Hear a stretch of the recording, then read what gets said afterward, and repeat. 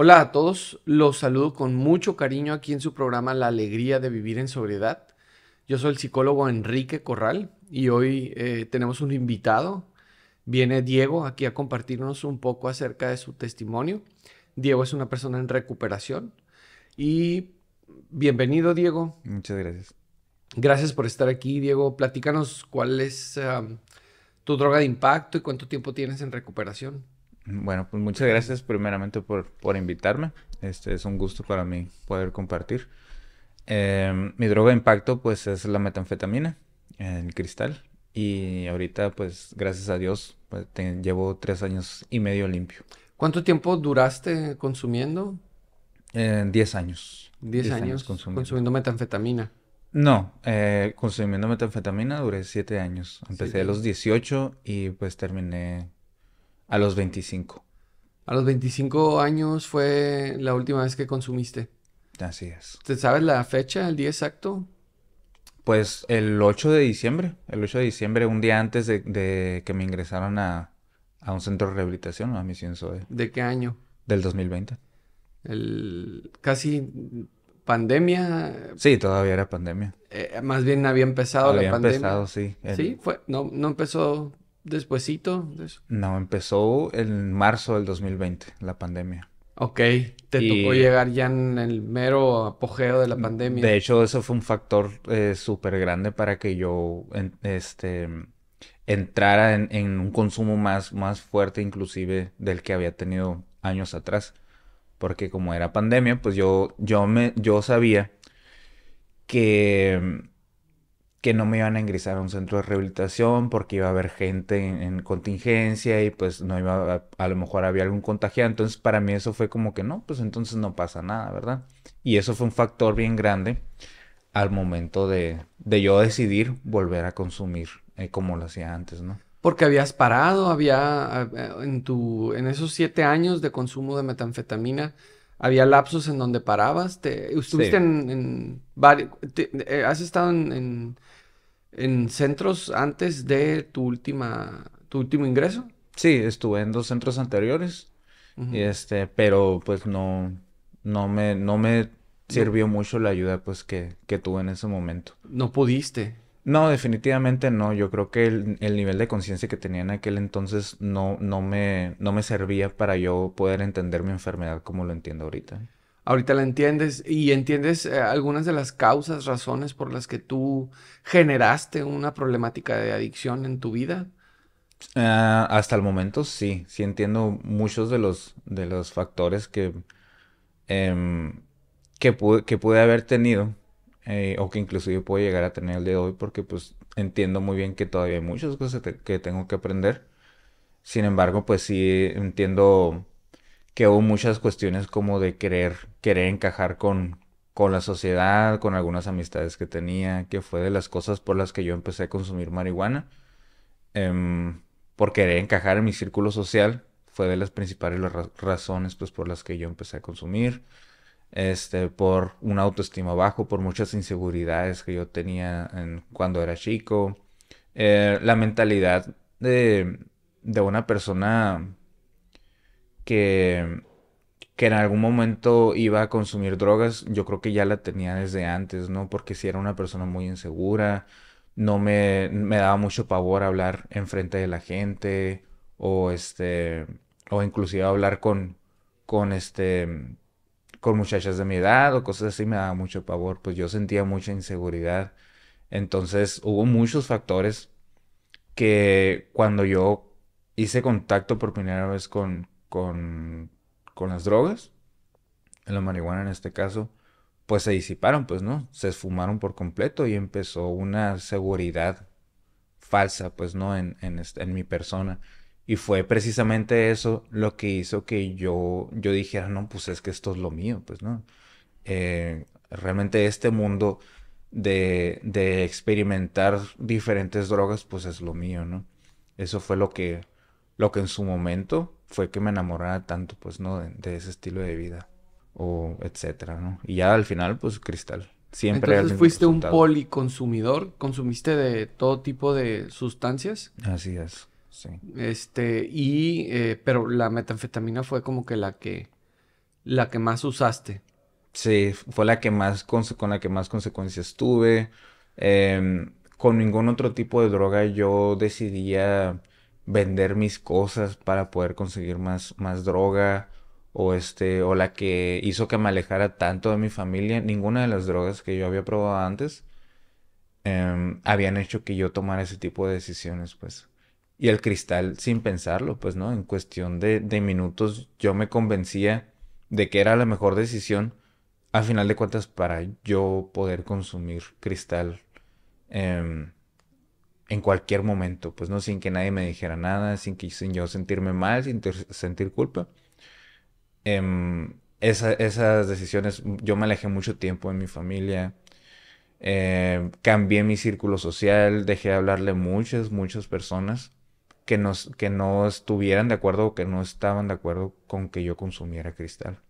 Todo cambió totalmente. ¿no? Ok, entonces quiero entender que la razón por la que tú em, crees que generaste el problema de adicción, eh, primero para encajar, para pertenecer a un grupo social, que son, fueron tus amigos con los que, con los que tú te rodeabas, ¿no? Segundo, em, inseguridades. Te, tenías problemas como de socialización, se podría decir de esa manera que te llevaron a, generar una adicción en, tu vida. ¿En qué momento te diste cuenta eh, o en qué momento piensas que la adicción se empezó así a, manifestar a flor de piel en, tu historia? Mm, hubo yo creo que varias etapas también en, ese aspecto. Em, cuando empecé a consumir pastillas a los 16 años, fue cuando ya era súper obvio para todo el mundo que yo, es, que yo consumía drogas, ¿no? Ya no lo podía ocultar para nada, pues, ¿no? Hubo muchas, muchas ocasiones en las que, em, pues ya, ya no lo podía ocultar para nada, ¿no? Mi, mamá siempre me decía que mira cómo andas, este, y yo, a pesar de que yo decía que estaba bien dentro de mi soberbia, dentro de mi ego, yo decía que estaba bien, que yo lo podía controlar eh, yo muy en el fondo yo me decía, es que esto que estás haciendo no está bien.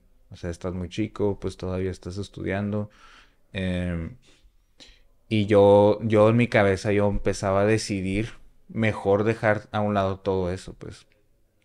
Yo no, no, no empecé a, a dejar de darle importancia a, a los estudios. Em, a hacerle caso a, a, mi mamá, que era pues la única guía que tenía en ese momento. Y yo automáticamente empezaba a, hacer un poquito de conciencia, pero automáticamente yo sepultaba esa, poquita conciencia con un montón de pensamientos de que no era cierto, que, este, que estás bien así, que por fin encajes en un lugar eso fue lo, más, yo creo que lo más importante. Eh, yo en, su, en aquel entonces para mí eso era súper importante, pues eh, yo era de las personas que brincaba de un círculo social a otro y en el círculo social donde había mucho consumo, ahí nunca me rechazaron, pues. Entonces, como eso era tan importante para mí, yo no podía dejar las drogas con tal de, de seguir en ese circulito, ¿no? Entonces yo empezaba a sepultar ese, ese pequeño Em, nivel de conciencia que tenía en aquel entonces lo empezaba a sepultar con un montón de pensamientos eh, que justificaban mi consumo en aquel entonces. Ahora, cuando yo comencé a consumir cristal, em, cambió, eso también cambió eh, muy drásticamente porque ya, ya no podía dejar de consumir yo ya, yo ya no, no tenía la, fuerza de voluntad para dejar de consumir. Yo creo que... Eh, o sea, con el otro, con, con, el, con las otras sustancias, había lapsos donde dejabas de, consumir, ¿no? O sea, los fines de semana consumías y entre semana a veces no. Todavía ibas a la escuela, por lo que estoy escuchando. Eh, fui, eh, dejé de ir a la escuela muy joven. Realmente, ah, este, dejé de ir como a los 16 años. Este, ahí fue cuando... ¿Crees que por, por, por, el consumo, crees que eso sí, influyó? definitivamente, sí. Ok. Sí, ya ¿Te no corrieron de la escuela o simplemente dejaste de ir? Eh, es que no, iba a la- estaba en la escuela, pero no iba a la, escuela con tal de yo irme a consumir con mis amigos. Ok. Entonces yo me doy cuenta que realmente el, el querer encajar era un problema súper, súper grave para mí. Porque yo llegaba a la escuela, sí llegaba a la escuela, pero yo creo que una clase se me hacía mucho que estuviera en la escuela y me iba. Y este, me iba a la playa o, o, este, me iba a patinar o donde sea que yo, que yo sabía que, que había gente consumiendo, pues, ¿no? O con quien yo me podía ir y que no había bronca. Y yo llegaba a mi casa, este, simulando que no pasaba nada, ¿no? Que yo había ido a la escuela, que, que todo estaba bien. Pero pues la verdad es que no era para nada, para nada cierto. Pues yo había estado todo el día eh, fumando marihuana, o tomando pastillas, o tomando alcohol. ¿Qué pastillas tomabas? Digo, no tienes que decir marcas, pero eh, ¿qué tipo de pastillas eran? ¿Ansiolíticos? Así es, sí. Ok, Este, ah, sí, ansiolíticos más que nada. Ok. Em, Me decías ahorita del cristal, sí, que todo em, cambió. Sí, ahí, ahí fue donde yo me di cuenta que yo ya no, no, no podía parar. Em, al principio, pues yo creo que como muchos pensábamos que, que esto era lo mejor del mundo, pues, ¿no? Que el, cristal, pues, nos hacía prácticamente invencibles. Y, y esto dura un lapso súper pequeño. Pues, cuestión de, para mí duró meses, pues, este, este sentimiento de que yo podía con todo el mundo y bien de repente, eh, cuando empezó mi primer eh, síndrome de abstinencia, fue cuando, pues, yo nunca había sentido algo similar, pues, ¿no? Con, con ningún tipo de droga me había dado un síndrome de abstinencia tan fuerte como con el cristal. La famosa Y- malilla, ¿no? Este, sí. Le- sí, o sea, cuando cortas con el consumo, empiezas a sentir malestar Sí, a físico, sudar emocional. frío, a sudar frío, se me aceleraba el corazón y me, me empezaba un- mucha paranoia de que y si me voy a morir y si qué pasa. Y desgraciadamente, desgraciadamente, lo único que calmó eh, esa ansiedad, pues fue volver a consumir. Y ahí fue donde me di cuenta y dije, no, yo ya valí. Ya, ya no voy a poder. Dejarlo. Exactamente, ya no voy a poder dejarlo. Dije, si esta es la única solución que encuentro ahorita, pues va a tener que ser así siempre, ¿no? Y esa mentalidad de que siempre vas a estar consumiendo se empezó a alimentar cada vez más, pues con el pasar del tiempo. Y para mí fue como que, no, pues, van- yo voy a estar viejito y voy a estar consumiendo. Y sigues consumiendo todos los días y te empieza a generar problemas eh, el consumo. Digo, Sí. está, está, la, está la, el síndrome de abstinencia, pero ¿qué otro tipo de problemas te genera el consumo? Principalmente, pues, eh, con mi familia, ¿no? El primer internamiento que tuve fue decir, eh, mi familia me intervino, eh, pues yo ya para ese entonces, yo ya había dejado la escuela por completo, yo ya decía que yo no iba, yo no quería estudiar, que no era lo mío. Eh, y fue mi primera intervención, ¿no? En un centro de, de rehabilitación. Sin embargo, pues la verdad no duró nada, ¿no? Este, era un tratamiento a puertas abiertas y duré tres días nada más. En el lugar. Te desintoxicaste, como quien dice. Sí, prac- ni Eh, siquiera Ni alcancé a siquiera alcanzaste a desintoxicarte. Este, y yo llegué con el director y le dije, ¿sabe qué? Yo ya me quiero ir, ¿no? Y trataron de convencerme y todo esto, pero no pudieron, pues. Y yo consumí, ese mismo día yo consumí. ¿Tú solo te internaste entonces esa vez? Eh, ¿Te mi convencieron? Familia, mi familia convenció, pero al último yo terminé diciendo que sí. A Ok. los, a los 18 años. O sea, intentaste dejarlo, entonces, se podría decir. Se podría decir que yo, yo me daba cuenta que tenía un problema. Ok. ¿Hubo otros momentos en donde hayas intentado dejar el consumo? Sí. Por mi propia cuenta, sí.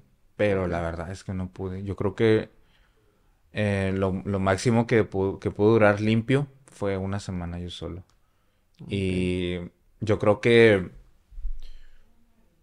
eh, esta mentalidad de que, ah, ya estuvo una semana limpio, ya puedo durar lo que es el tiempo que yo quiera limpio, eh, es lo que nos, me terminó convenciendo de que, ah, entonces lo puedo dejar cuando yo quiera, ¿no? Y era pues nada más para convencerme de que no, pues puedo empezar a consumir otra vez. Y como ya sé que yo lo puedo dejar por el lapso que yo quiera, em, lo empezaba a consumir otra vez.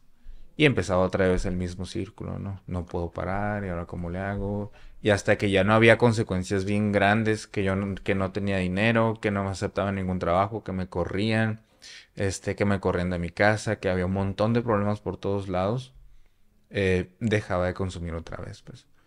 Y e, era, era como que el mismo círculo, pues, ¿no? Y, no me enfadaba, la verdad. Decía, no, pues es que si, me tengo que acostumbrar a esto, pues ni modo. Eh, así era. Ok, y en el proceso, ¿qué tal hacías sufrir a tu familia? ¿Tú no tuviste tu mamá? ¿Te criaste con tu mamá? ¿Papá? No, no, no. Eh, pues se fue. mis papás se separaron cuando yo tenía 10, 11 años, entonces em, em, no, no no tuve esa guía, pues no. De la, empezando la adolescencia para adelante yo no tuve esa guía. Pero pues gracias a Dios yo tuve una madre que siempre fue muy valiente por nosotros, fue una madre muy fuerte. Sin embargo yo fui súper, súper egoísta con mi mamá. Muy, muy, muy fuerte. Em, yo no quería entender pues... Em, ella muchas veces, muchas veces em, me quiso hacer entender que, esto que estaba haciendo estaba mal, de todas las formas posibles, intentó. Sin embargo, yo en mi, en mi egoísmo, yo la hacía siempre para un lado, pues sí, siempre le decía que me dejara en paz, este, que no se metiera en mi vida, eh, que yo sabía lo que estaba haciendo, yo me creía una persona súper astuta, pues, y yo creía que yo podía con ese estilo de vida, pues. Y sí la hice sufrir muchísimo, a pesar de que ella siempre fue un súper ejemplo para nosotros. A mí eso no me importó.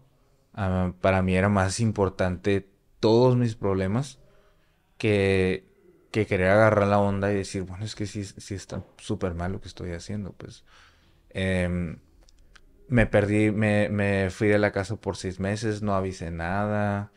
Em, mi familia buscándome por todos lados. Este. Eh, tuve muchos, muchos pleitos con mis hermanos. Eh, no le hablaba a mi mamá. Em, muchas, muchas irresponsabilidades, pues muchos egoísmos de mi parte que hicieron que mi mamá pues eh, también entrara en un proceso muy, muy depresivo, pues, ¿no? Em, al final, al final de cuentas, em, mi mamá con tal de, que yo estuviera cerca, pues me decía, pues, ¿sabes qué? Pues vente. Este, no importa cómo estés, pero vente para acá, para la casa, ¿no? Este, ya cuando por fin de, después de seis meses me encontraron, eh, me dije, no, pues vente, ¿no? Y eso fue como que también la excusa perfecta para mí, ¿no? Pues si me quieren aquí, pues me van a querer aunque esté consumiendo, ¿no? Y ahí empezó otro, otra etapa de sufrimiento para mi mamá, ¿no? De ver que este, como su hijo no le importaba y seguía consumiendo y este que metía a gente bien desconocida en la casa, pues gente eh, en la que no se podía confiar. Este, pero pues a final de cuentas pues decía, no, pues de esto a no ver dónde está, no ver cómo está. En su momento pues sí hice que se que se conformara con esto, ¿no? Y esto duró un, lapso de mm, como dos años. Em, hasta que ya mi consumo era súper, súper grave, pues, ¿no? Este, le robaba cosas, eh, conseguía, conseguía dinero como fuera, y ya hasta que las consecuencias fueron, fueron demasiadas, ¿no? Y fue cuando decidieron internarme otra vez a los 20 años. Por segunda vez. Por segunda vez. Ese sí fue un internamiento involuntario. involuntario de seis meses. Este, fueron a la casa de mi mamá por mí. Este, me acuerdo perfectamente que después de que yo salí, mi mamá me dijo que ella ya no soportaba verme como estaba, pues, eh, bien flaco, este, sin dormir, ojeroso, este, con la cara de locura total. Y fue cuando dijo, pues con todo el dolor de mi alma, pero tuve que tomar esta decisión. Y yo en ese momento, eh, cuando después de los seis meses yo no lo entendí. Yo, yo estaba resentido y yo decía, pero es que ¿por qué? O sea, ¿por qué no? La típica, ¿no? ¿Por qué no me dijiste? Lo hubiéramos hablado y, si lo hubiéramos hablado yo obviamente me, lo hubiera rechazado, pues. Eh, no lo entendí en su momento, pues. Y después de ese internamiento no pasó mucho tiempo para que yo empezara a consumir. Se acaso un mes y yo empecé a consumir otra vez. Em, empezó mi recaída con el cristal directamente.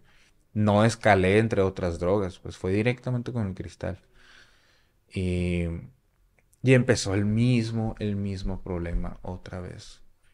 Em, empezaba mi, mi egoísmo con, con, con, mi familia, empezaba a ser súper agresivo con ellos y, y, mm, primero lo escondía y hasta que ya se empezó a hacer bien obvio y ya no, ya, ya que vi que ya no podía, ya ahora sí decía la verdad, pero con agresividad para que no, para que no quisieran meterse otra vez, pues no.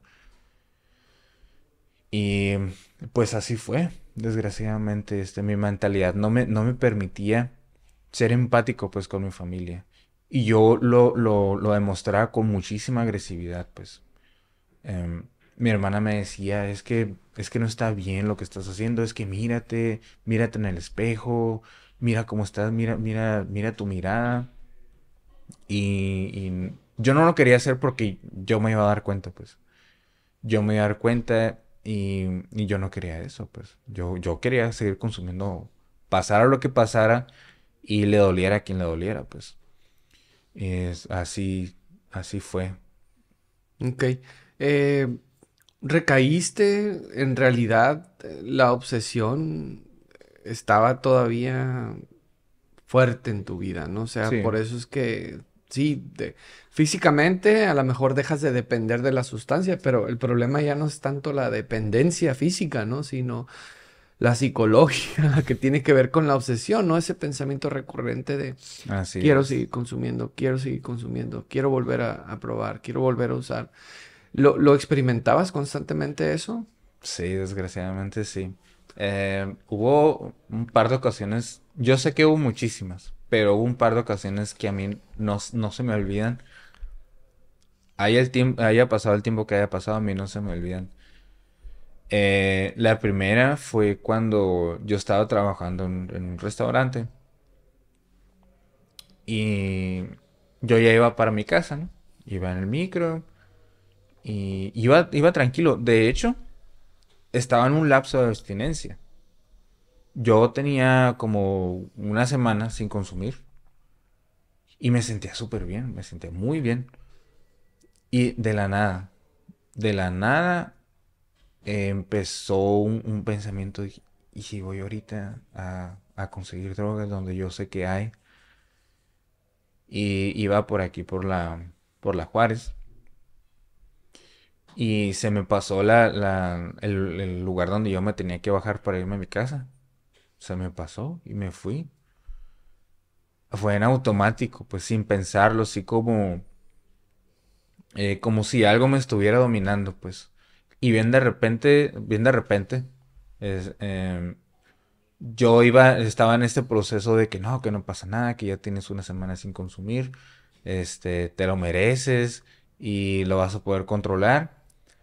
Y fui y levanté una, pipa de vidrio, fui a levantar... ¿Compraste? A, comprar cristal. Em, y bien de repente ya estaba en mi casa otra vez, fumando cristal. Y fue bien descontrolado, pues dejé el trabajo. Eh, empecé a echarle la culpa a todos los demás.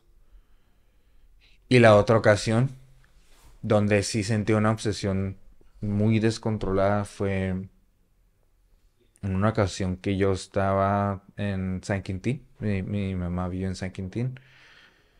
Y me había ido a trabajar con ella dos semanas regularmente cuando yo me iba para allá yo me limpiaba. Y de hecho yo recuerdo esos lapsos con mucho cariño porque para mí era, eran bien, bien, eh, eh, era mucha catarsis, pues. Como la casa de mi mamá, pues es un lugar que es eh, muy bonito, está cerca de la playa y siempre estás trabajando. Para mí fue una catarsis total, pues, porque yo veía la vida con otros ojos, pues me empezaba a limpiar y yo, yo veía, es que, yo decía, es que está súper bonito vivir así ver los atardeceres y este, ver que estaba haciendo algo bien, eh, me hacía llorar siempre. Pues me ponía bien, bien emocional y, siempre terminaba llorando porque yo decía, es que por, ¿por qué te cuesta tanto vivir así, no? Y yo me regresé para Ensenada. Yo me regresé para Ensenada porque hubo una situación con mi familia. Y en el transcurso en el que venía en el autobús, más o menos como a hora, hora y media antes de llegar a Ensenada, empezó una obsesión. Y empecé a pensar, no, pues ya voy para Ensenada, voy a estar solo, eh, nadie se va a dar cuenta. Y esa hora y media fue eterna para mí totalmente. Fue eterna, fue de un lucha, sufrimiento, sí. De lucha interna. Eh, sí, de, de lo hago, no lo hago, ajá. Y cada vez iba ganando más el, sí, pues el, hazlo, el, el, hazlo, no pasa nada, ¿no? Y terminó ganando. Terminó ganando, fue nada más, llegué este, a la casa de mi familia y mostrar que todo estaba bien. Sin embargo, pues yo traía otro plan totalmente diferente en mi cabeza, ¿no? Llegué y, no, sí, todo bien, y este, y no, pues ya me voy a mi casa, ¿no? Este, los quiero mucho y bla, bla, bla, bla. Y fui a comprar cristal otra vez. Y fue súper evidente, no lo pude esconder. Eh, me encerré en mi casa, no salí por tres días, hasta que fue mi familia a buscarme y pues resulta que yo ya estaba consumiendo y pues ya, ya no lo podía esconder para nada, ¿no? Y, así, así fueron muchas, muchas ocasiones más. Tú eres delgado. ¿Qué tan delgado eras cuando, cuando estabas, este, Sí, en consumo. Si tuviera una foto ahorita, se las, se las quisiera enseñar. Al rato me la mandas, la subimos aquí al video. ok. estás muy, muy, muy flaco. Pues se me notaban todos los huesos del cuerpo, eh, las costillas, las, estas partes del hueso, de, la cadera, perdón. Eh, los, no tenía nada, nada de cachete. de cachete. Y lo peor de todo, lo peor de todo es que me encantaba verme así. Yo me miraba al espejo y, con la mente bien distorsionada yo decía, no, pues es que sí, así me gusta verme, ¿no? Y yo pasaba días sin comer ni tomar agua con tal de verme flaco, flaco, flaco. Esta, mi mente estaba súper distorsionada. Y de hecho, de hecho, ese fue uno de los factores de recaída que yo tuve constantemente. Em, en, estos, en estos lapsos donde yo quería dejar de consumir, pues empezaba a comer bien y todo esto, empezaba a tomar mucha agua y empezaba a ver que ya agarraba cachetito. Subías de peso. Empezaba, que veía que empezaba a subir de peso y vámonos, y ya sé cuál es la solución, pues. Y fumar cristal y a fumar y a fumar y hasta que no me veía igual de flaco, ya dejaba de consumir, pues. Porque no me gustaba, pues, yo, yo tenía un complejo súper, súper grave con esta cuestión, pues a mí no me gustaba verme gordo. ¿Alguna vez fuiste gordito en tu vida? De hecho, no. No, yo, no, yo, yo hacía mucho ejercicio. De niño era un niño súper activo. Eh, siempre estaba jugando. Me encantaba jugar fútbol. siempre en, la secundaria también, en la preparatoria también. En, el tiempo que estuve en la preparatoria también era una persona súper activa, pues. ¿Era tu deporte preferido, el fútbol, soccer? Sí, de hecho, ahorita todavía lo puedo considerar como uno de mis deportes favoritos, ¿no? Eh, de vez en cuando juego ahorita, em, pero antes sí era todos los días de lunes a domingo yo jugaba. Yo mis primeros recuerdos eran jugando fútbol, ¿no? Y siempre fui flaco, pues yo no, no, no, no, no entendía de dónde venía ese complejo, pues. Em, puede ser, pues, de, de, la, de, esta misma inseguridad con la que yo siempre he tenido, de que me vayan a juzgar, em, de que me vayan a decir gordo, de que me quieran hacer bullying por ese lado, ¿no? ¿Te hacían bullying por otro lado? ¿Tendrías algún complejo ahí? Uy, sí. La verdad, sí. Sí, este. De, chiquito eh, me hacía mucho bullying por mis, por mis orejas. Por ejemplo, cuando yo estaba chiquito, era muy notorio que tenía orejas grandes y me hacía muchísimo bullying por, por, por esta cuestión, ¿no? En la escuela, eh, a veces en mi casa también. Y yo crecía con mucha inseguridad. De hecho, en, la secundaria siempre traía gorro porque no querían, no quería yo que me vieran las orejas porque dije, no, pues es que aquí no quiero que me hagan el mismo bullying. Este, después en la secundaria me hicieron bullying por otro lado. Eh, yo en la secundaria, como fue en, en, el lapso en el que yo pasé la primaria y la secundaria, fue el lapso donde mis papás se separaron. Yo, mi autoestima se fue a los suelos, pues. Yo em, empecé la secundaria sin, sin mi guía paterna, sin, sin tener a quien preguntarle, oye, me está pasando esto, estoy empezando a sentir aquello, ¿cómo le hago? Eh, yo crecí con muchísima inseguridad, pues, ¿no? Y yo no hablaba con nadie, siempre estaba en el rinconcito y, me no hablaba, pues, ¿no? Y me empezaron a decir, este, el dark, me acuerdo que me decían. ¿Cómo? El dark. El dark. Sí. Y toda la escuela, toda la escuela eh, me, me... me etiquetaron. Sí. Y, y, eso automáticamente a mí me, me, me, hizo pensar, no, pues es que si eres así, pues es, es bien antisocial, pues no quieres hablar con nadie. Pero la verdad es que yo ahorita, viendo a ese Diego de aquel entonces, yo veo un Diego muy herido, pues, ¿no? Muy lastimado. No alguien que, que realmente sus intenciones eran no, no querer socializar. socializar o sea, no era algo intencional. no, para nada. Las personas pensaban que a lo mejor era intencional, pero de no era intencional. Porque si yo me pongo a, ver, por ejemplo, al Diego, de la, al Diego más chico, yo era un niño súper feliz, pues. Yo era un niño muy feliz, con todo el mundo hablaba, este, yo ah, con mi familia era muy, muy, muy unido en la primaria. Era muy, muy inteligente, muy aplicado. Este, siempre estaba en el cuadro honor. Y pasó esto de con mis papás. Y fue todo lo contrario. No hablaba. Este, sí jugaba fútbol, pero pues eh, nada más. Eh, me distanciaba de la gente, no hacía amigos, no hacía amistades. En, la secundaria tuve muy pocas amistades. Em, entonces fue totalmente lo contrario a lo que yo era, pues no, en, tiempo antes. Em, pues sí, sí, sí me hacían mucho bullying, la verdad, y eso sí me afectó. Entonces, pues yo ya más grande me creaba una, barrera impenetrable, pues, donde si me querían hacer algún tipo de bullying, yo automáticamente yo me defendía, pues, ¿no? Y de una manera muy narcisista, pues, muy, muy, muy agresiva, pues, también. Y yo no, yo no iba a permitir que me siguieran haciendo bullying, pues, ¿no? Y fue una, fue una cuestión que sí me afectó muchísimo, pues, ¿no? A la hora de crecer. Ok, decías que eh, jugabas fútbol, soccer, eh, y cuando empezaste a hacer contacto con las sustancias, dejaste el...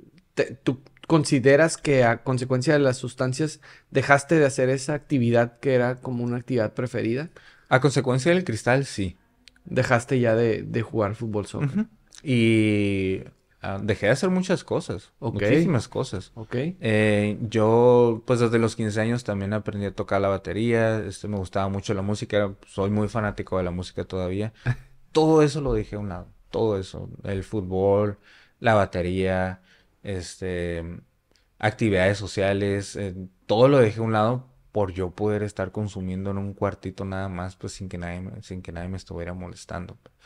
Antes de eso, sí jugaba fútbol, este, de hecho, eh, muchas, de mis, de mis amistades fumaban marihuana y jugaban fútbol, no es algo súper común en, en, en las, personas en, en, las personas de, de, esa edad, ¿no? Este, se juntaban en unas canchitas en un parque que estaba cerca de mi casa y pues fumaban y se ponían a, a jugar fútbol, ¿no? Y eh, entonces para mí pues era, era, era bien normal, ¿no? Con las pastillas también, iba a jugar fútbol, a veces jugaba básquetbol. Eh, todo, todo, todo eso lo dejé de hacer cuando yo empecé a fumar cristal. Todo eso lo dejé a un lado. Muy bien. Diego, eh, platícame ya así como que la última etapa de tu consumo, me imagino haber sido la, etapa más eh, difícil, intensa, este, porque esto pues se sabe, ¿no? Va escalando va progresando la, enfermedad y las consecuencias cada vez son más este, eh, fuertes. Este, platícame un poquito acerca de esa etapa. Mira, em, yo me fui a vivir a Guadalajara en 2018. Estuve dos años allá. Y yo me regresé aquí en Ensenada cuando empezó la pandemia. Me quedé sin trabajo allá. Eh, allá también consumía. Em, y me regresé acá en Ensenada cuando empezó la pandemia. Y para mí fue la excusa perfecta para yo empezar a consumir, ¿no? En aquel entonces yo tenía una pareja de, allá de Guadalajara. Y cuando llegué aquí en Senada, pues terminamos, ¿no? Terminó la relación. Y también esa fue la excusa perfecta para mí, para poder em, consumir sin, sin ningún tipo de control. Sin eh, límites. Sin, sin, ningún tipo de límite. O sea, em, no me, dejó importar todo. ¿Y por qué? Esta etapa fue súper fuerte para mí. Mm, a mí me dolía mucho, ¿no? Esta ruptura. Me, dolía mucho. Y fue un dolor emocional eh, tan fuerte que pues yo lo tenía que, que apagar con, mi consumo de cristal. Y cada vez tenía que ser más y más y más y más. A un punto en el que yo recuerdo perfectamente que... Mm, que yo despertaba cuando dormía, me despertaba y abría los ojos y lo primero que decía es, era preguntarme por qué otro día, pues por qué otro día empezaba a llorar y a llorar a llorar. Y no, es que ya no quiero estar vivo, ¿para qué? Este, porque yo veía mi situación, pues yo veía que estaba eh, súper, súper mal, más mal que nunca, eh, con un dolor emocional que, que que ni siquiera el consumo de cristal, de metanfetamina, podía eh, calmar o, tapar, mejor dicho. Eh, ya, ya, no podía, pues, uh, bien de repente yo estaba con, con, la pipa de cristal fumando y lloré y lloré al mismo tiempo. Ya no tanto por la cuestión emocional, sino por ver cómo estaba, pues, por ver mi situación, em, por ver que, que otra vez este, estaba activo, estaba prendido del cristal, que tenía que estar fumando unas cantidades que nunca había tenido que estar consumiendo atrás. Y eso me, me ponía súper mal, pues me ponía muy triste. Y desgraciadamente, como era la única solución que yo conocía en ese entonces, pues consumía todavía más, consumía el doble, pues para de perdida eh, no poder ni siquiera pensar en una sola cosa, pues. Eh, y, mis pensamientos se hacían súper descontrolados, pues, ¿no? Era una, locura eh, muy triste, pues, muy, muy triste. Y era tanta mi tristeza, era tanta mi depresión. ya la cuestión emocional ya había pasado, ¿no? Ya era más el, no quiero darme cuenta del nivel de adicción que tengo. Y empecé a juntarme con gente pues con la que no debí juntarme, empecé a vender drogas, em, empecé a, hacer cosas pues que yo nunca había considerado que iba, que iba a hacer, ¿no? Este, realmente mi, mi, mi ambiente social pues cambió muchísimo, pues, ¿no? Y todo ¿Se puede decir que ponías en riesgo tu vida? Eh, sí, sí, la verdad sí. Sí, sí llega a ponerla en riesgo varias veces, ¿no? Y mi libertad también. Este, hubo varias ocasiones pues, en las que yo me salvé de ir a la cárcel, ¿no? Em, sin embargo, em, el mismo pensamiento siempre estaba bien constante, pues. y yo siempre decía, es que pues yo ya no quiero vivir, pues yo ya me quiero morir. De alguna manera decía, pues es que yo quiero, yo quiero que alguien pues venga y, me pegue un tiro, pues y me mate. Y este, y cuando pensaba esto, siempre mi último pensamiento era, ¿y qué va a pasar con mi mamá? ¿Cómo se va a sentir mi mamá? Cuando le llegue la noticia de que algo le pasó a su hijo, ¿no? De que su hijo no pudo. Y eh, fue una etapa súper, súper triste para mí. Bien triste. mi mamá me corrió de, su casa. Yo me tuve que ir a rentar a otra parte. Y en, esta, en, este, lugar donde yo rentaba, pues había gente súper, súper mal. Pues no, yo creo que eh, las peores personas que pude haber encontrado en mi vida con las, con las cuales este, yo juntarme. Y ahí fue donde, donde eh, mi consumo se hizo todavía más fuerte, donde yo enflaqué muchísimo más. Y fue donde yo empecé a, vender drogas. Em, y fue donde pues yo llegó un momento en el que tuve que salir huyendo pues de todos esos problemas en los que me había metido.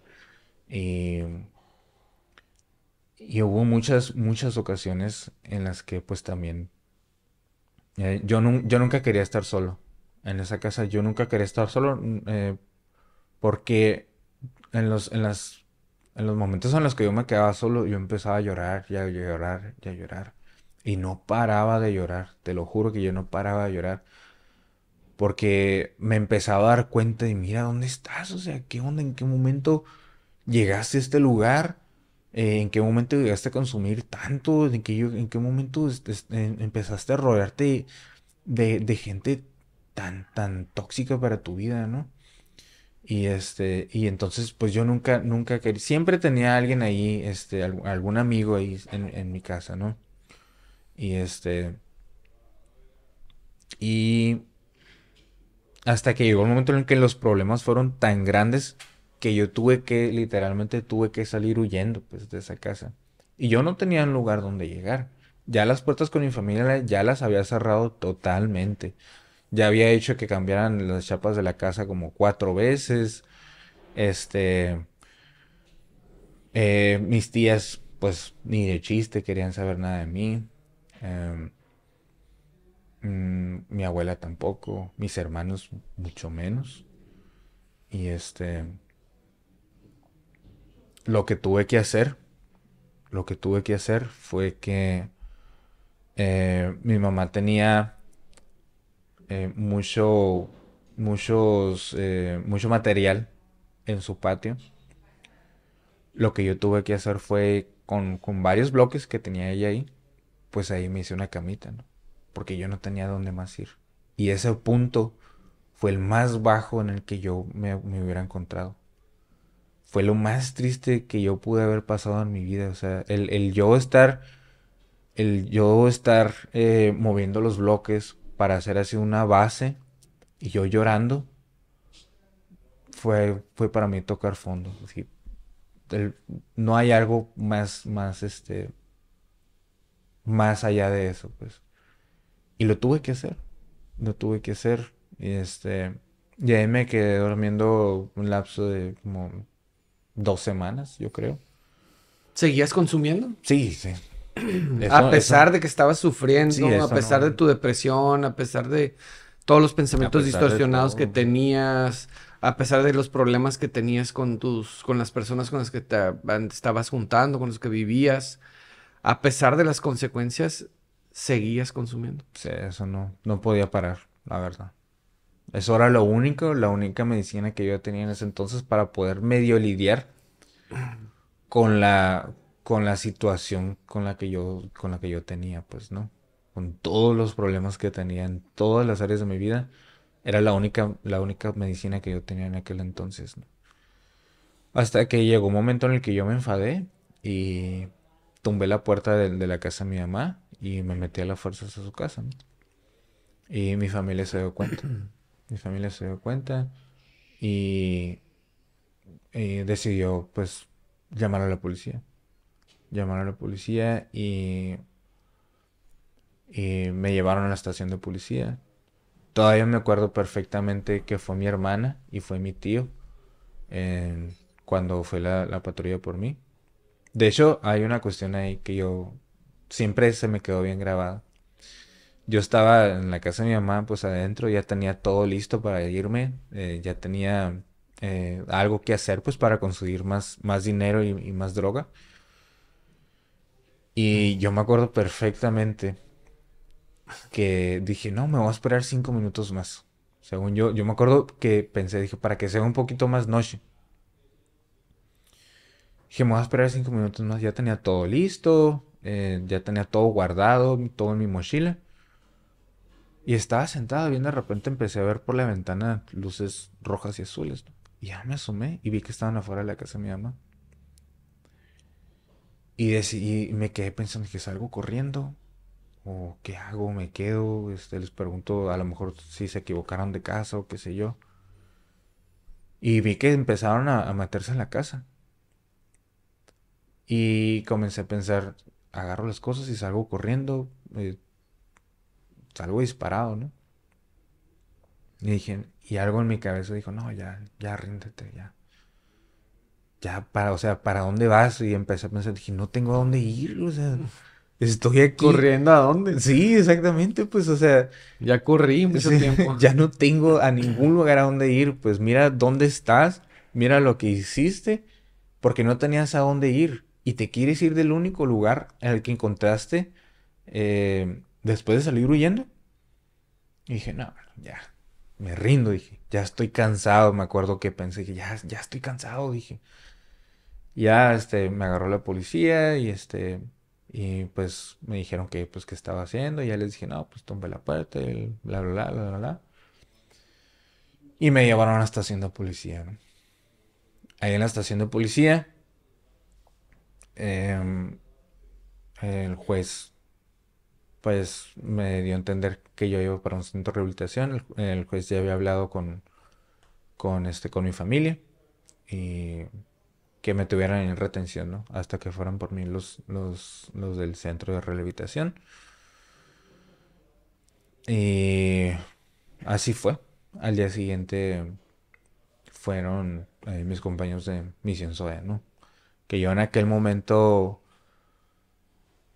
eh, todavía me acuerdo querer estar planeando cómo escaparme de la camioneta cuando íbamos para, para Misión Zoe. Y otra vez empezó el mismo, pues, ¿a dónde vas? O sea, ¿a dónde? ¿Tienes algún lugar a dónde llegar? Y dije, no, ya. Y empecé a llorar otra vez. Yo, era bien llorón en el consumo, la verdad. Este, y empecé a llorar, y a llorar, y a llorar. Y me acuerdo, pues, que estaba, pues, estaba Pampín, estaba Mikey, estaba Oscar, ¿no? Y este, y dije, no, pues ya. Eh, pues ni modo. Pues es que yo creo que cumplí todos los requisitos, pues, ¿no? Y hasta más todavía. Ya se habían tardado. y te digo algo, la verdad es que eh, yo siempre voy a estar bien agradecido porque yo sí pienso, estoy segurísimo que fue en el momento más correcto en el que pudieron haberlo hecho. En el que el timing fue perfecto. Sí, la verdad que sí, ¿eh? Eh, me agarraron medio susceptible, este, donde yo, yo ya, me estaba derrotando, ya me estaba derrotando. Entonces, para mí fue muy sencillo, de alguna manera, por así decirlo, fue muy sencillo aceptar que yo tenía un problema, pues. Porque yo me gasté todas, todas las, las fichas, yo me las gasté. Ya no tenía nada, nada, nada. Lo único, pues, que me faltaba, pues, era, no sé, irme irme a otra ciudad donde nadie me conozca, ¿no? ¿Ya habías ido a Guadalajara? Bueno, sí es cierto, ¿verdad? Ay, fíjate que allá estuve con mi hermano, entonces no, no, fue tan, tan, tan, tan grave, ¿no? Este. Pero mi ingreso a Misión Suave fue lo más, lo más bonito que me pudo haber pasado en la vida, te lo juro, te lo juro. Ahí empecé a vivir otra vez. Este, yo recuerdo con muchísimo cariño Misión Zoe. Eh, a mis compañeros, este, todos mis compañeros, eh, a, los, a los compañeros del staff, que siempre fueron unas personas eh, súper, súper cariñosas conmigo. el señor Enrique Pérez, que fue, para mí siempre ha sido mi guía, mi guía, este... Pero el proceso en Misión Zoe fue algo... fue lo que yo necesitaba, pues. Fue exactamente lo que yo necesitaba. Em, desde que llegué, pues, desde que llegué yo em, empecé a, aprender a vivir otra vez, pues, ¿no? Empecé a reírme, este, empecé a llorar de, este, de felicidad. Eh, me acuerdo muy bien que la primera llamada que tuve con mi familia, que en ese entonces pues era videollamada porque todavía era pandemia, eh, mi mamá me dijo, eh, tenía miedo, me dijo, de que, de que fueras a estar enojado conmigo por, por la decisión que tomé. Yo lo único que le dije, ¿sabe qué, mamá? Pues muchas gracias por esto que está haciendo por mí, no se preocupe, yo estoy bien, este, estoy muy agradecido y por la ayuda que me están dando y realmente lo estaba diciendo de corazón. Y, y empecé pues mi proceso, ¿no? Eh, empecé a, a mejorar mi persona, empecé a valorarme, eh, empecé a, a, hacer cosas que nunca había hecho, ¿no? A disfrutar de, de la compañía de otras personas. Y pues claro que me equivoqué también, ¿no? Al principio, pues, y llegué súper agresivo. Y llegó un momento en el que me di cuenta, ¿sabes qué? Pues es que no hay necesidad. O sea, no, ¿por qué, ¿por qué estoy haciendo así, no?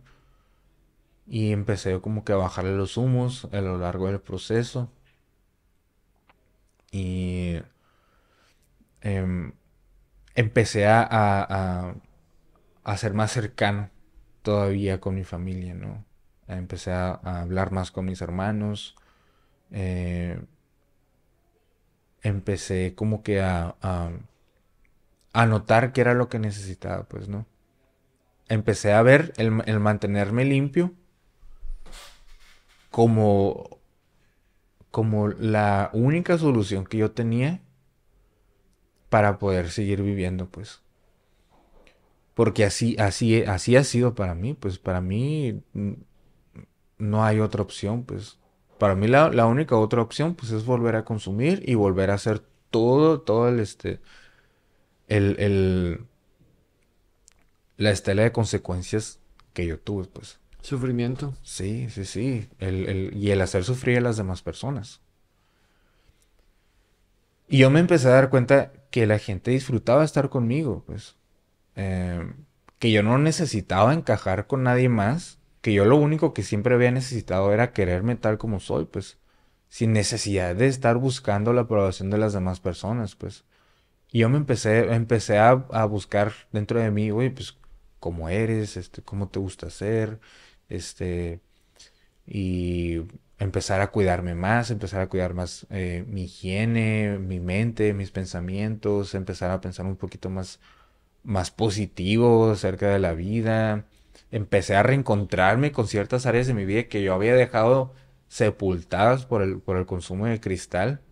Este, a mí, si te soy bien sincero, a mí me gusta mucho la vida. O sea, me gusta mucho vivir, me gusta mucho este, ver cómo es la vida, el ciclo de la vida, todo esto, ¿no? Y es algo que yo tenía bien enterrado y en Misión Zoe fue cuando me reencontré con esta parte mía y pues es que me caigo re bien, dije, pues es que soy, soy bien, bien, bien buena onda, ¿no? Y este, y me empecé a querer como nunca me había querido, pues. Empezaste empezó a crecer tu autoestima. Sí, muchísimo. Y de una manera. Empezaste a ser auténtico, esa parte es bien importante. Empezaste a ser verdaderamente tú, ¿no? O sea, ya no dependía de si me van a aceptar, no me van a aceptar. O sea, tu forma de ser ya no dependía de, de encajar, ¿no? Sí, qué increíble descubrir eso, ¿no? En recuperación. La verdad, sí. Y, me imagino, empezaste a experimentar lo que es la alegría, la felicidad, la paz, la tranquilidad. Esa es la paz más que nada, la paz más que nada. Y lo vengo descubriendo todavía hasta el día de hoy. Este, pero gracias a Dios hoy tengo una paz que nunca en mi vida había sentido, nunca antes, eh, porque puedo ver y puedo vivir la vida tal como es, pues. Eh, puedo vivir tranquilo de que a pesar de que yo sé que nunca, siempre voy a estar aprendiendo constantemente, sé que por, ahorita estoy avanzando, sé que estoy haciendo las cosas bien, este, sé que la persona que soy hoy en día quiere a su familia, ama a su familia, este, se preocupa por ellos, me preocupo por mí porque todo esté bien. Entonces, em, eso es algo que yo no había encontrado en ninguna otra parte, pues no, esa, esa tranquilidad de decir, sabes que el día de mañana tú te vas a despertar y vas a estar bien. ¿En este proceso te ayudaron los psicólogos? Sí, muchísimo, muchísimo. El, psicólogo Ismael, Ismael Molina, fue mi psicólogo en el proceso. Y este, me ayudó muchísimo a todas estas cuestiones emocionales. Eh, siempre estuvo ahí, pues, ¿no? Siempre estuvo ahí para mí. Cuando estuve en la etapa de medio camino, también cuando diferentes situaciones empezaron a surgir en mi vida. Este, ya cuando me enfrentaba, eh, me empezaba a enfrentar a la vida, a las responsabilidades, ahí siempre estuvo a mi lado, pues, ¿no? Eh, siempre procurando eh, mis emociones, este, diciéndome, ¿sabes qué? Pues ten cuidado por este lado, o por este lado vas muy bien. Nunca, nunca me dejó a un lado, pues, ¿no? Y este, pues también tuve, tuve consejeros. El, compañero Oscar, eh, Oscar Madero también fue mi primer consejero. Y este, tuve un par también de otros consejeros, ¿no? Pero siempre, siempre estuvieron ahí para mí. Eso sí, sí, Hiciste una etapa de medio camino, ¿no? Así es. En donde qué? Salías a trabajar, regresabas. Salía a trabajar. Visitabas a tu familia, regresabas. Eh, iba los domingos a visitar a mi familia. Eh, primero pues iban a visitarme ahí. Em, ya después me iba, me iba con mis hermanos, cosa que yo nunca hacía. Eh, me iba a comer con ellos, me iba a convivir con ellos, iba a ver a mi abuela. Cuando mi mamá estaba aquí, pues salíamos los cuatro. Y este, y también iba a trabajar también iba a trabajar. Este, busqué un trabajito ahí cerca de, de Misión Zoé. Sí, me acuerdo. Eh, de cocinero. Después te acuerdas que me fui a mandar burritos y no sé qué tanto. Y este, nunca dejé de trabajar. Eso sí, yo creo que desde que desde que empecé mi etapa de medio camino nunca he dejado de trabajar, gracias a Dios. Siempre siempre he este, buscado esa ese lado. No tanto por tener, sino por por este por esforzarme, pues, ¿no? Más que nada. Pero sí la etapa de medio camino a mí me, funcionó muchísimo, pues, ¿no? Para poder adaptarme de una manera así eh, paulatina a, a, la sociedad. A la sociedad, pues a toda la responsabilidad, pues, ¿no? Al realmente ser una persona responsable. Y ayuda, ¿no? Porque te previene, ¿no? De, de, de tener una recaída. Cuando sales de un centro de habitación y de repente te enfrentas a la vida y empiezas a tener problemas en el trabajo, con la familia y no tienes con quién compartir esos problemas. Exactamente. al menos de que te integres a un grupo de, autoayuda también, ahí podrías este, apoyarte en ese sentido. Eh, pero la etapa de medio camino es precisamente para eso, para que te des cuenta que no estás solo, tienes una comunidad terapéutica que te va a acompañar y al psicólogo pues lo tienes ahí casi casi a un toque de puerta, ¿no? Este, eh, cualquier problema que tengas, ahí llegas y puedes este, compartir, ¿no? Y te acompañan en ese proceso de reinserción social. Y lo bueno también, aparte de eso, es que también eh, tuve siempre los compañeros del staff siempre tuvieron muy buena comunicación, ¿no? Em, siempre podía llegar contigo, o con Pampín, o con el señor Enrique, o con Oscar a platicarle, oye, me pasó esto, y este, y siempre, siempre estaban ahí para mí, pues, ¿no? Siempre era algo eh, que yo sabía, yo sabía perfectamente que ahí, que ahí iban a estar cuando yo llegara, pues, ¿no? Y se volvieron, eh, aparte de ser mi, mi parte de mi red de apoyo, se hicieron mis amigos, pues. Claro. Se hicieron mis amigos y yo los quería, los quería mucho, pues, o sea, yo me emocionaba de decir. Los querías, ya no. bueno, sí, todavía. todavía pero en, aquel entonces, pues, es que los, los, los, todavía los valoro, ¿verdad? Muchísimo, a todos. Este, pero a mí me emocionaba mucho salir a trabajar y decir, no, pues es que ya voy para, para casa, ¿no? Ya voy a mi casa. Y este, y me emociona mucho llegar y no, pues, y platicarle, ¿no? Quien estuve ahí en la oficina. No, pues es que me fue así, me fue así, me pasó esto, me pasó aquello. O llegaba y, me, cambiaba y entraba al gimnasio. Y este, y el hecho de que me, dijeran, pues es que ahí la llevas y ahí la llevas, hijito, échale ganas y no te rindes. Y eso me daba, me daba un plus, pues, ¿no? Bien, bien, este, bien bonito, pues. Eh, y que me decía, es que pues ahí la llevo, pues no, eh, eh, no, no me voy a rendir, pues no me voy a rendir, pase lo que pase. Y yo, y a pesar de que no tenía, de alguna manera sí tenía certeza de lo, del paso que seguía,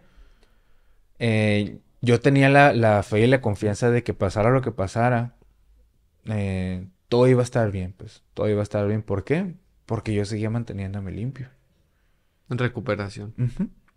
Así es, entonces eso era para mí como que pues lo más importante y hasta el día de hoy pues también sigue siendo lo más importante que tengo. ¿Y ahora trabajas como consejero? Así es, esa parte... Eh, ¿Tu vocación?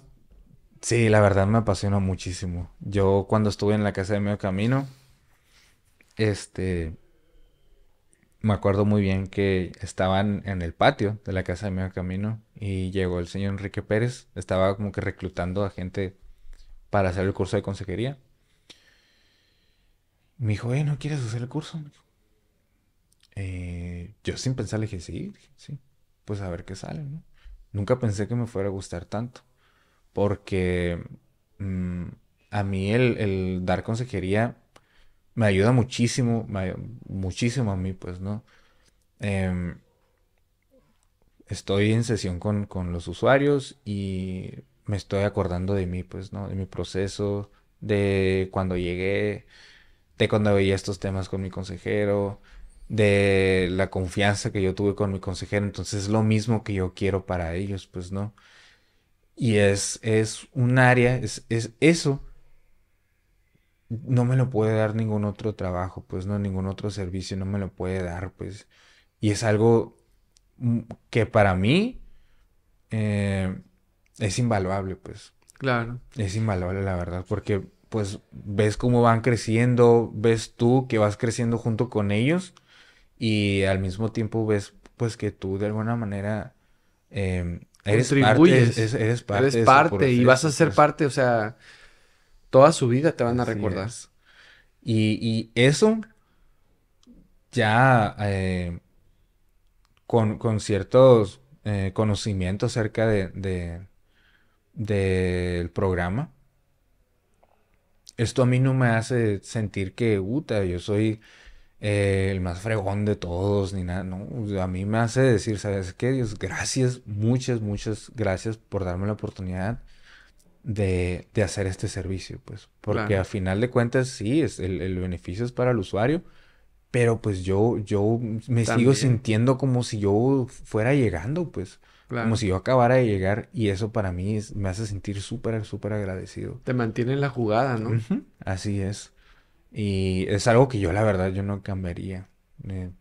Ahorita trabajas aquí en Casa Zoe. Así es, aquí soy. ¿Cuánto tiempo tienes trabajando aquí? Eh, tengo dos años. Voy para dos años trabajando. Este, estuve un lapso donde estuve fuera, pero pues por azares del destino, por, por la gracia de Dios, pues regresé. Y aquí me encanta estar, pues aquí me gusta muchísimo estar con... con Obvio, regresaste ya como... regresaste aquí a, dar tus servicios, ¿no? Sí, sí, sí. Pero vives en tu casa, tienes tu familia y... Así es. Ya tienes más de dos años que saliste del centro de, de rehabilitación. Sí, tengo, salí que en junio, julio, perdón, julio del 2022. 2022. Salí de aquí de casa soy. ¿Estuviste un año en el centro? Un, mi proceso fue de un año, ocho meses. Un año, ocho meses. Así fue mi proceso. Tuviste, bueno, un tiempo en el centro y el otro tiempo lo pasaste en la casa de medio camino, ¿no? Así es. Estuve seis meses en, en Misión SOE. Después otros seis en, la casa de medio camino, de Misión y después, aquí en Casa Zoe. Así es. Todavía me acuerdo que pues fuimos los primeros que, que inauguramos esta casa. Claro. Momentos súper bonitos, eh, bien, bien, este, bien emotivos de estar eh, viendo cómo le hacíamos para, para organizar esto y pues verme como siendo parte de, de algo bueno, pues eh, me, me decía, pues es que esto es, esto es lo tuyo, pues, ¿no? Esto es, esto es para ti. Claro. Pues muchas felicidades, Diego. De verdad eres un gran testimonio de, de aquí, de nuestra comunidad. Este, de verdad que eh, sí, es gracias a Dios, pero también hay que reconocer el, el mérito también tu mérito, que has elegido este estilo de vida, que básicamente es lo más inteligente, ¿no? O sea, digo, para muchas personas es lo más lógico, ¿no? O sea, si estás sufriendo en el consumo, eh, elige la recuperación, ¿no? Este, sin embargo, no todos lo logran, o sea, digo, ahí es donde radica la enfermedad, en otras palabras, la locura, ¿no? De, de decir, ¿cómo puede ser posible que una persona siga consumiendo cuando está sufriendo? Pues es que eso es lo que pasa, por eso es una adicción y no es un vicio, ¿no? O sea, o un mal hábito, o lo que como tú le quieras llamar, o sea, la persona se encuentra eh, poseída por la sustancia, encadenada, esclava de la sustancia y, aún a pesar de las consecuencias y del daño que se está ocasionando, la persona no puede parar. Y, e incluso a veces con tiempo eh, en abstinencia y en recuperación, llega la obsesión y la persona este, tiene una recaída. Así es. Hasta ahorita, me imagino, tú ya no manejas una obsesión muy intensa y esa pues eres un testimonio más de que definitivamente con el tiempo llega un momento eh, y a través de mucho trabajo interior y de recuperación llega un momento en que la persona deja de sentir esa obsesión, deja de sufrir por, por, por, por no consumir, ¿no? Sí, es un vacío espiritual pues que, que no tiene, o sea, no hay nada material que lo pueda llenar. Este, puedes tener el mejor trabajo del mundo, el mejor pagado, el trabajo de tus sueños. Eh, pero si tienes ese vacío espiritual, siempre va a haber esa probabilidad de que tú vuelvas a consumir, pues, ¿no? Entonces, pues lo, lo tenemos que llenar, pues, con, con, con, un contacto, pues, con Dios, primeramente, ¿no? Y, y esto que mencionas de la inteligencia, pues, también es súper importante, ¿no? Porque si hay algo que, por lo menos a mí me cataloga mucho, es que yo soy una persona súper soberbia, pues, ¿no? Yo puedo ser súper inteligente, yo puedo ser puedo creer que soy la persona más astuta del mundo, pero si me sigo tropezando con la misma piedra una y otra vez, pues entonces ya debería empezar a cuestionarme, ¿no? Entonces soy tan inteligente como pienso que soy. Y es donde, pues, para mí entró la, la, humildad, pues, ¿no? En en, el, en el proceso y a la hora de servir, pues, ¿no? Eh, sí, es, esto es, es, que, es, ilógico, pues, ¿no? De alguna manera decirlo, por, por, así decirlo, pues, y como tú bien dices, pues, realmente lo más inteligente, lo más lógico, pues, es mantenerse limpio. Si yo sé cuáles son las consecuencias, pues, entonces, ¿para qué lo intento? Y ahí está la ayuda, ¿no? Ahí está la ayuda, hay muchos métodos, Misión Soy no es el único centro de rehabilitación, existen muchos centros de rehabilitación que trabajan muy bien. Eh, a ti te tocó estar aquí con nosotros en esta comunidad y ahora te toca servir en esta comunidad. Y pues estamos también muy agradecidos con tu trabajo, con tu servicio, de verdad que sí, muy contentos, eh, te admiramos, admiramos tu proceso, mm, hemos visto, me tocó a mí este, ver que en ocasiones se puso complicado, se puso difícil, sin embargo pues no desististe en ningún momento, perseveraste y hasta ahorita pues este te has mantenido, ¿no? Aunque nadie tiene garantizada la recuperación, es un trabajo de todos los días hasta ahorita te has mantenido y pues Dios te ha bendecido también. Muchísimo, muchísimo. Te ha bendecido con una gran familia, una hermosa familia, este, eh, tu familia está súper contenta y ya pues hasta, hasta tu tío, ¿no? Ya, ya este, te lo trajiste y ahorita este, le tocó venir ayer a, compartir su testimonio. Así es. De, que también está muy bien. Eh, yo también estoy súper, súper agradecido eh, por por haberme mostrado este camino y por, eh, por esta vida, pues, ¿no? Por esta vida y por todo lo que tengo hoy en día, pues, ¿no?